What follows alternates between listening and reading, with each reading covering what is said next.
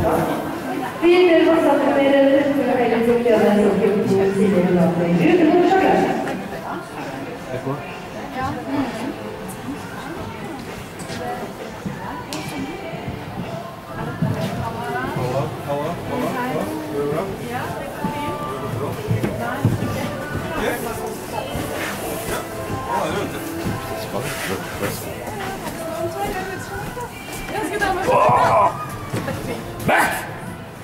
skrik inn til ørene.